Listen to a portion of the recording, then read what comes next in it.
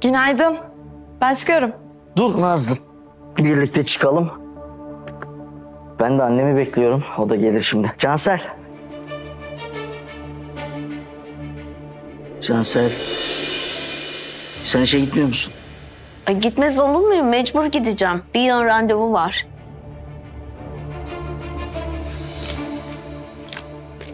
Ah Poyraz. Ee, senin durumunu bilmiyorum ama bugün biraz yoğun olacağım ben. Nana benimle gelebilirse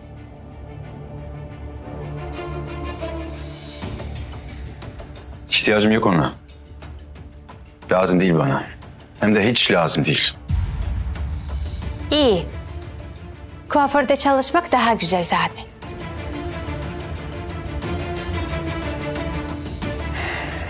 Ağaç işi ince iş. Haddini yolunu bilmeden dan dun gelişenlere göre değil zaten. Hanım, sen nereye gidiyorsun? Sağlık ocağına gideceğim oğlum işim var. Şahin giderken beni de bırakacak. Hadi gidelim o zaman.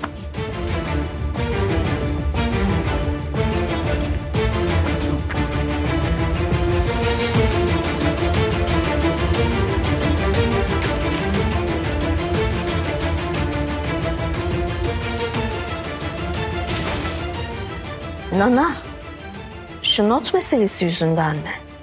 Cennet annem anlattı her şeyi. Haklı kızmaktan.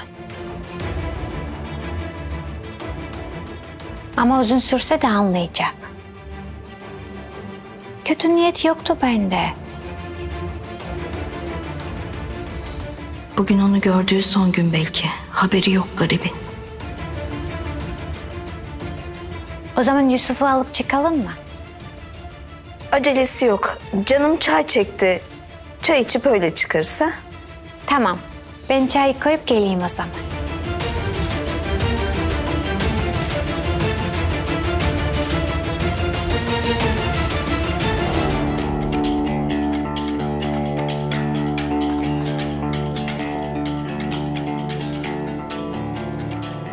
Yusuf çok uzakta değil değil mi? Yo, köşede oynuyor. İyi iyi. Ayaklarım şişti sabahtan beri ayakta durmaktan. Bütün mahallenin bakımı aynı güne denk gelmiş. Hepsi bugüne toplanmış. Şey ben bitki çayı hazırlayacağım. Yorgunluğunu hemen alır. Boş ver bitki çayını. Kahve yap. Kendine de yap. Sen de soluklan biraz. Peki.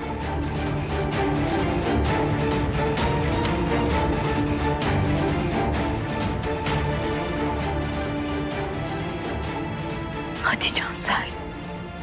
Başka çaren yok. Bitir şu işi.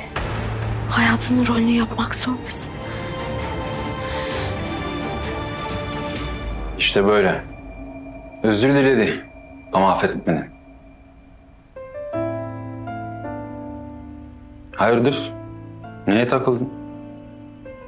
Ya usta kusura bakma da. Sen ona yalnızca haddini bildirmiyorsun ki. Ondan bence öfkeni de çıkarıyorsun. Ya bir düşün usta. Yani tek sorun burnunu senin hayatına sokması mı? Yani diyorum ki usta acaba başka bir şeye mi öfkelisin sen? Ya istersen şu kalası kafama vur. Ama ben gerçekleri görmen için bunu söylemek zorundayım usta.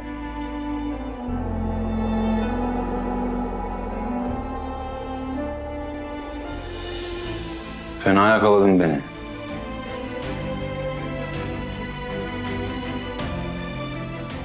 Doğruyu söylüyorsun galiba Merdan.